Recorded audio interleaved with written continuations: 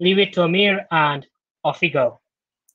Thanks, Melroy. Uh, okay, so uh, let me start by the same question which I asked earlier that uh, about how many years being involved in PIDS. I think I've been involved in PIDS more than 10 years. And during this uh, lifetime of working with the persistent identifiers, I've seen the growth and kind of transforming the metadata space of the research and scholarly communication networks from um, just uh, disconnected repositories to now an interoperable connected network of links between different repositories, connections, topics, grants, and publications. So in this uh, in this um, presentation, we're going to actually use some of those uh, plus graph database plus Python plus a graph visualization tool called Gephi to see how we can actually get the data out of this system and how we can basically analyze the graph. Now, on my background, my background is computer science. I work in the research sector uh, in, in, general about 18 years. Uh, right now, I'm actually leading a research team at Swinburne. So we work with uh, big data sets, big collections. Uh, interesting enough, right now a lot of our projects are related to the uh, social activities, and there's a lot of social science background. So the collaboration network of people and their activities is something that is a core of a lot of our research components. Some of it even goes outside of the research space, like the finding the relationship between directors, interlocking connections across the board and different organizations. But in the context of this presentation, we're going to only stick to the uh, ORCID DOI, and Scholarly Communication Network. So on that one, uh, um, uh, Melroy has put a poll that talks about what is your interest. As I'm going through the slides, uh, I will look through this, and based on that, we spend time on which one of these technology we want to talk about it the most. Uh, but let me start by sharing my screen. Also, I have seen during the conference sometimes the uh, screen sharing has some problems. So please let me know if you have any problem of actually reading the materials and the slides. It's a lot of uh, kind of code involved in this talk.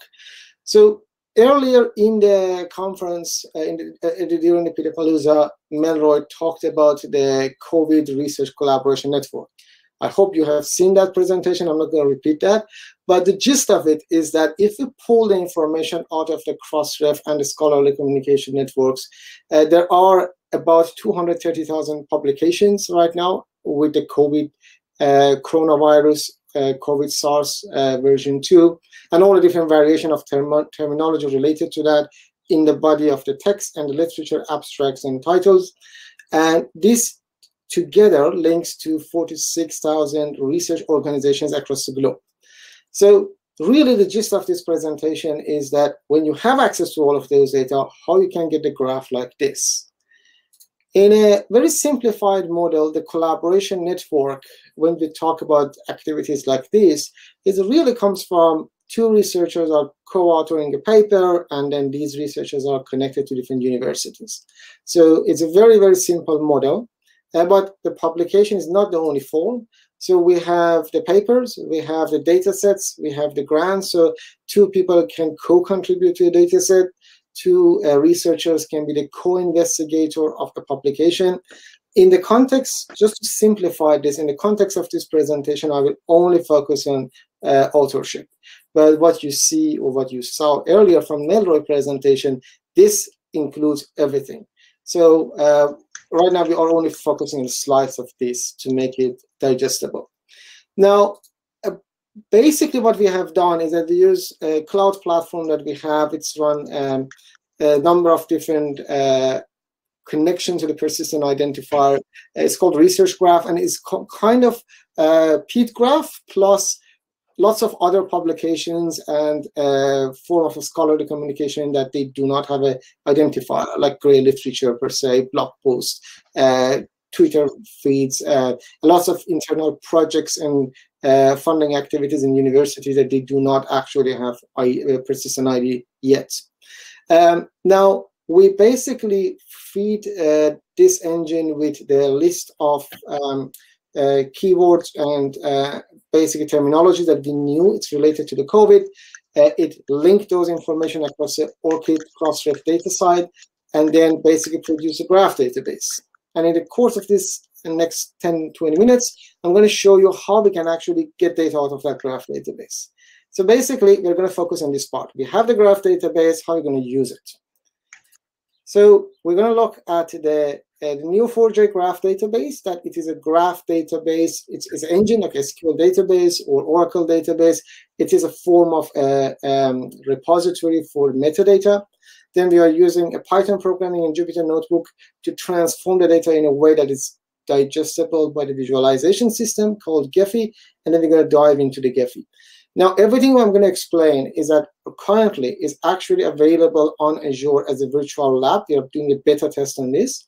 Uh, I'm not going to use it for the just whole point of, in, I think, doing a demo in a presentation and then using the cloud. There are too many risk factors. Uh, I'm going to use my machine. Everything is installed here, but everything I'm repeating uh, so everything I'm exercising here can be repeated through the Azure cloud. If you're interested in this one for a beta test, uh, contact me. So I'm going to actually switch to the process. Now, while I'm doing this, um, again, I'm hoping the text is readable. Uh, on that point, let me just check, look at the polls. So uh, the graph database, there is a, uh, a lot of interest here, and then followed by ETL, and then followed by, oh, actually, no, the also graph visualization. So we're going to spend less time on Python. Okay, so the data that I mentioned, uh, you should be able to see my entire screen now. It's sitting in a graph database that's called uh, Neo4j. Now, Neo4j has a desktop edition and also has a cloud edition. Uh, you can have a multiple different graph databases hosted in it. Again, I, in the scope of this presentation, I cannot kind of teach the entire Neo4j structure, but suffice to say that when you actually use a Neo4j, your data is sitting in a graph structure. Now, when you have the Neo4j, you can basically open that structure as a browser, and you can see what is in your uh, graph ecosystem. There are, in this case, are labels attached to different things, are colorful labels that tells you the data from Crossref, the data from DataCite, we have DOIs, we have FundRef data, we have Grid, we have ORCID. And what you can do in this in space is that you can start typing a language that's called Cypher. Things like, well, I want to know, tell me some publications uh, that where I want to be sure that they actually have uh, and uh, DOI. So I want them to have DOI and then return um, return those graphs actually. And then I can actually, and always in a big graphs, you want to limit the results. Otherwise, you're going to be uh, a lot of things coming out of it. So uh, you would get a graph. So far, it's simple. Now, in the graph that are looking, uh, there is a huge number of nodes. There are more than 340,000 nodes. Uh, it's too much for printing this out, but for the size of the graph, this is actually not that big. It's easily manageable in a sizable VM. The visualization of this would be the more uh, taxing on the CPU. Now, uh, the, the language that I type and called Cypher is actually there's an easy way to cheat, and that is basically the cheat sheet for this one. Neo4j published a guideline that basically almost tells you everything that you need to know. Have one of these in front of you, then you can start typing queries. Um, now, one of the tricks around the Neo4j space is that basically there are two main concepts here. One is that when you have a graph, when you're going for nodes, it always tells you what are the properties you can get from it. And uh, that plus that uh, small documents, that would tell you sort of things that you can do. Now, I put the link for this one into the slides uh, here. So you should be able to access this after this presentation. And the aim of this whole exercise is that everything we are going to do is, is going to be reproducible. Now, uh, what I'm going to type, instead of typing into a Neo4j, I'm typing this in a Jupyter notebook. And this Jupyter notebook is already on GitHub, so you can actually access that. So when you actually run uh, sort of commands in the Jupyter notebook, there's a bit of setup here. I'm going to skip this part. These are standard interaction with the graph database. I'm going to get to the Cypher queries. So the first thing we want to know is that what do we have actually in this graph database? And the answer to this is that we basically have 233,000 publications, uh, 58,000 researchers across 47,000 uh, organizations and 18,000 datasets. And I want to emphasize that going back to what we have seen in a number of presentations this conference, all about PIDs. So these are the researchers who do have ORCID, and these are the organizations that have some, some sort of identifiers and data sets that have a DOI. Obviously, this is not all the researchers that work on all of those publications. A lot of uh, researchers that are involved in this publication, they do not have ORCID. So there is a gap in this uh, kind of exercise. Uh, and by the way, the graph database that you see right now is the latest version of ORCID that is about two or three weeks old, or two weeks old, I think. So that might relate to some of the numbers we're going to see later on. So now on that note, uh, there is another query that you can type, and this is where the Cypher comes together. It says, well, I have, I want to know basically the connection between these nodes. And here you can see the number of connection between the publications, researcher and publication, publication researchers, organization researchers, and so forth. So this is a graph after all, and because of that, you can see this interconnectivity between different nodes. Now, I'm actually going to skip through this Python because of the poll that I saw, so I think I don't, I'm not going to spend too much time here. Uh, the thing that are important in, in this kind, and again, the code would be available online, is that you can actually see um, the, the trend of publications, for example, in 2020. Like this is what happened in January, February, March, and going all the way to December. And you see in, Feb in February, March, there was a decline. Now, given the context of the research graph and the working to this ecosystem, we know that the uh, February, March usually in the publication cycle are actually sometimes quite quiet. So this is following the same nature, uh, but then but has been quite consistent.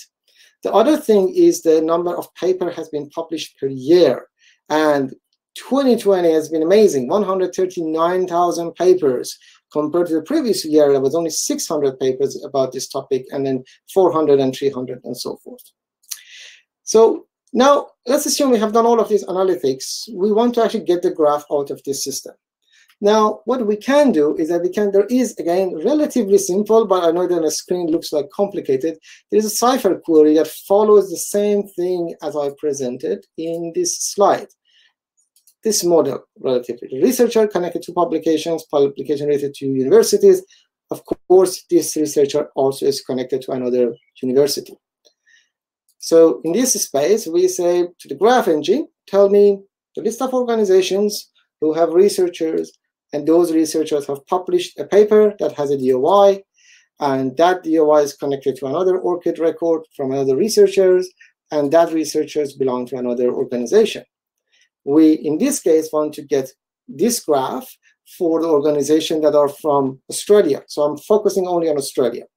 And for that point, uh, I would basically export all of those things that I asked for, and I export this one in a file.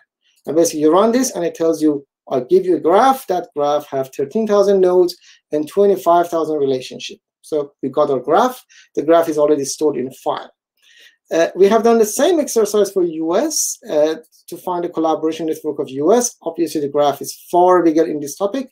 And we will see in some of the visualizations that US and UK are dominating uh, players in the field of publishing related to the COVID-19, uh, which is obviously no surprise in that space. So for uh, collaboration graph of US includes more than 49,000 organizations. Now, just another uh, clarification in this context, in the universe of um, research graph, we basically look at the organization not as a, a main entity, as all of the branches, like for example, if the Swinburne University has a branch in California and has a branch in Indonesia, there are separate organizations. So all of those subsections or separate research group that they got separate IDs, like ISNI ID, they would consider as separate organization.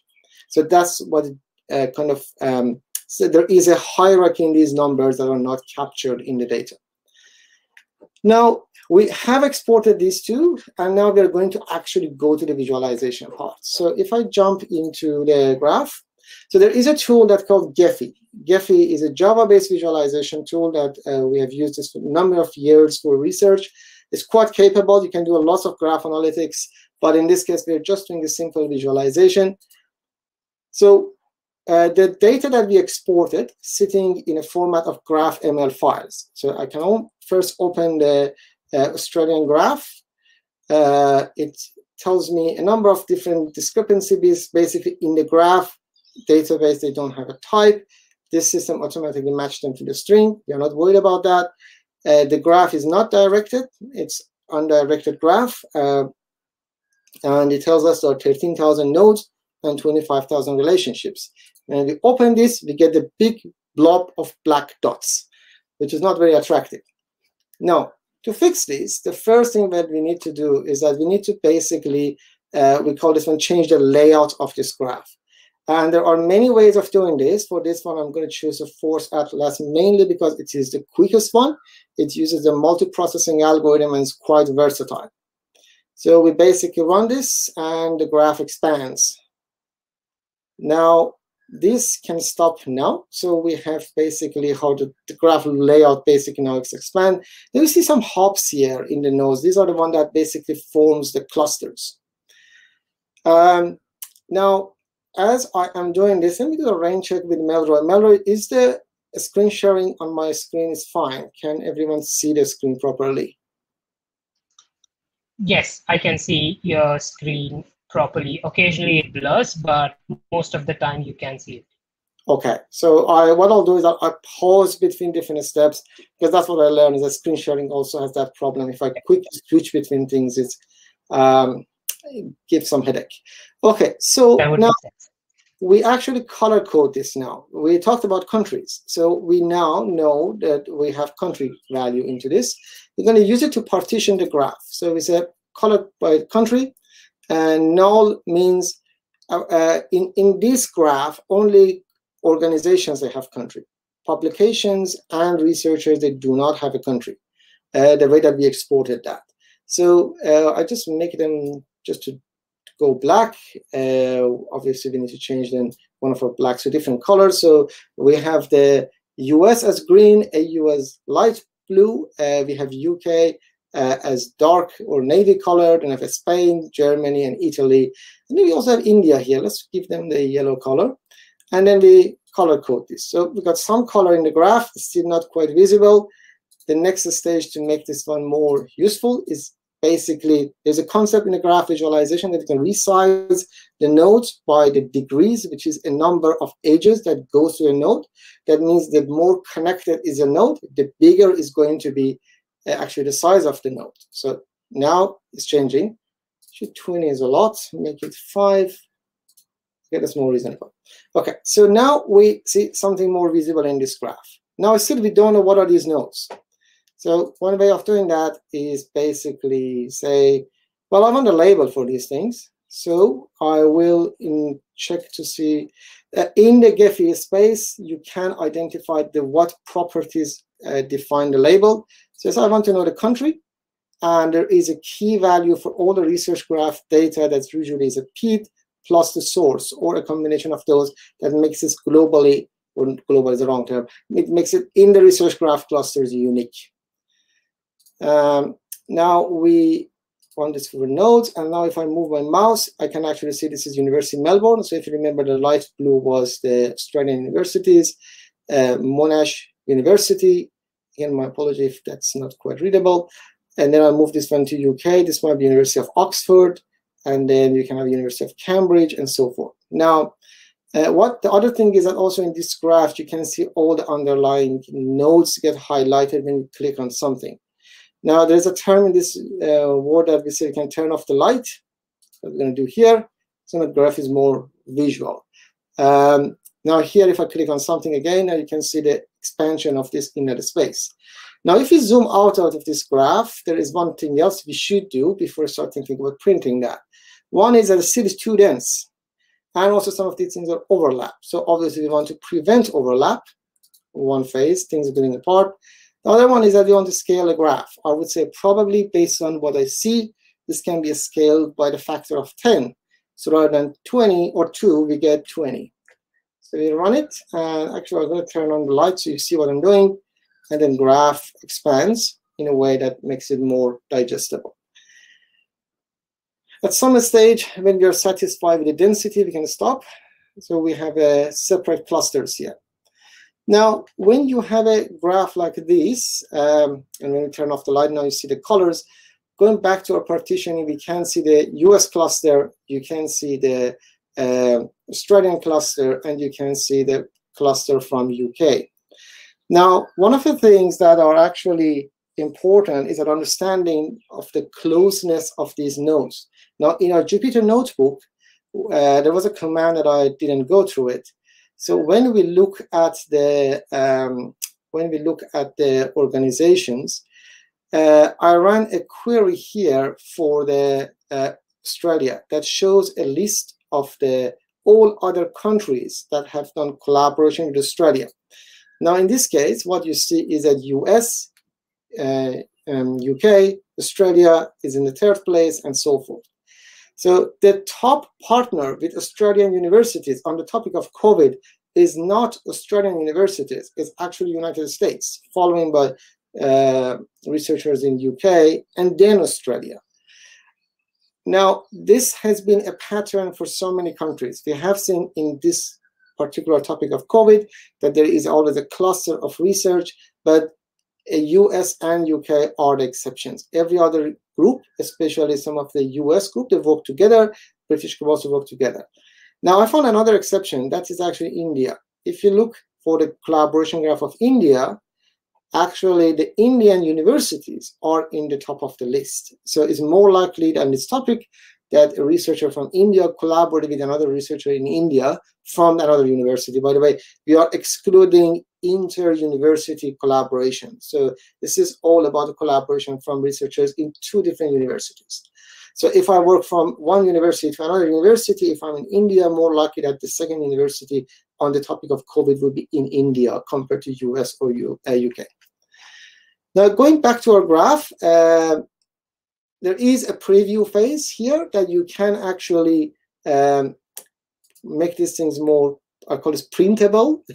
So this is the one that we often use for publications or uh, more friendly graph visualizations. Um, and to some level, it's quite useful to actually get something that can be nicely put on the uh, um, on your paper. Now, uh, this whole thing, the actual value, which we are not going to actually get time to go through this, is different filters that you can do on the topology of the graph, the number of uh, algorithms that you can apply about the structure of the graph, so you can actually slice and dice the graph in different ways. Uh, this is not going to, fit in, in, our time right now, um, but there is a lots of kind of videos on YouTube about how to use Gephi for graph visualization. Once you get your data or your PID graph in this concept into the Gephi, then uh, kind of the possibilities are endless. Now, on that note, if I get back to slides, I'm, um, I just want to repeat these things uh, that this page is going to be your friend. Uh, the, the Cypher uh, factory in this case, or we call it cheat sheet. Uh, and the code is available in the GitHub repository. Um, and I think the presentation is going to be also shared after the, uh, uh, the, the slides is going to be shared after the presentation. And if you want to get involved in this, uh, to access the VM, uh, right now, you basically the only way that you have is that you need to contact me and send me your uh, Azure ID so I can actually add you to the uh, list of authorized users to um, spawn the VM. And obviously, this needs to be in your own capacity. So it needs to have your own Azure account to run it. Uh, on the code, the code is available. Everything that we put on the code is here.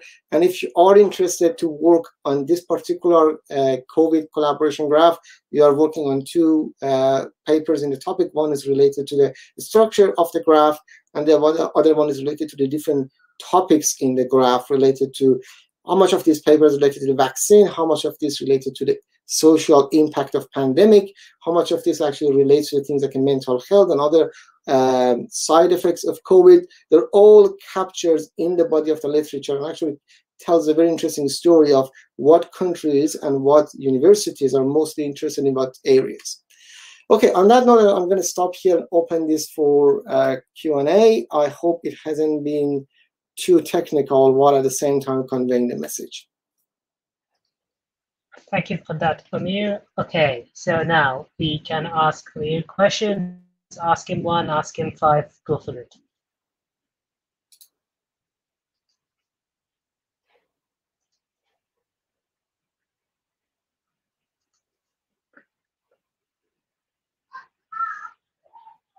So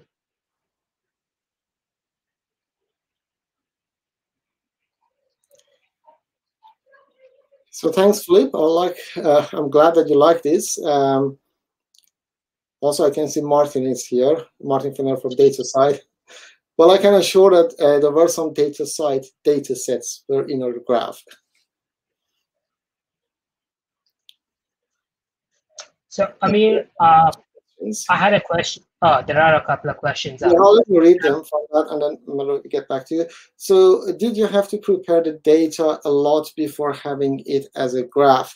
So Philip, the short answer is um, yes, um, but a lot of it is automated. So uh, the research that my team is doing is a lot of it is related to this scholarly communication network. So that's where the research graph come to play, and we have a pipeline that continuously cleans the data basically the graph that they maintain right now has 600 million edges across all of these DOIs. It's uh, ISNI records, the grids, and all different of different ones. So we continuously curate and clean this uh, in a way that we can use it for our own research, and that's where the effort gone. But um, the, the thing about this particular version with COVID is uh, we are basically make, we are going to make this one publicly accessible so anyone can use it.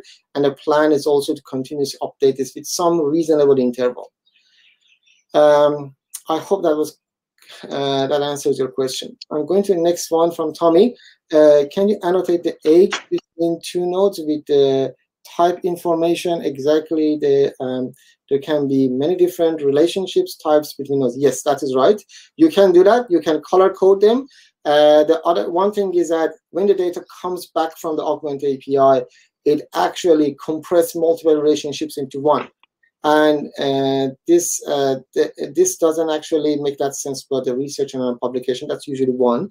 But between the research and organization, there are multiple formats. I, I can uh, both studied and be employed by the same university. So uh, what you saw in that graph was flattened graph uh, but you can actually have the whole expanded graph that shows all the, all the edges, uh, which obviously means more dense graph.